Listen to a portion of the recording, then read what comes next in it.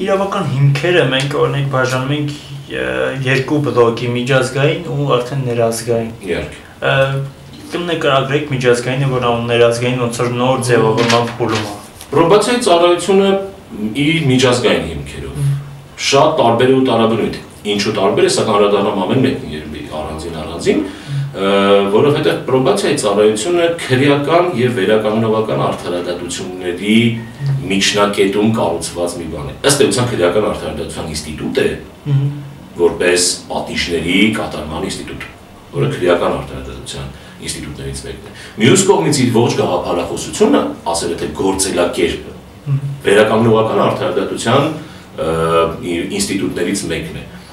վերականգնողական արդարադատություն, որը իրենց ենթադրում է առավել ճկուն հակազդու օրենսդրությանը, որը ենթադրում է անձ տեսակի կարևորումը, մարդու կարևորումը եւ վերջապես մարդու փոփոխության ապավինելը, այլ ոչ թե ուղղակի ազատազրկումը, ինչը որ անում է աշխարհի ողջ պատիժների համակարգը։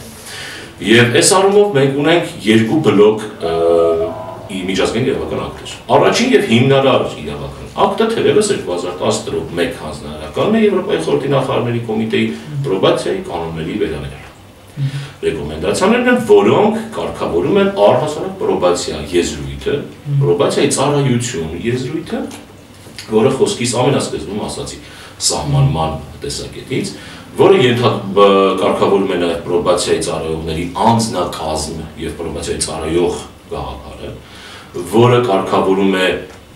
process-ները, գործընթացները պրոբացիայի ծառայության եւ նրա ինտեգրալ դերը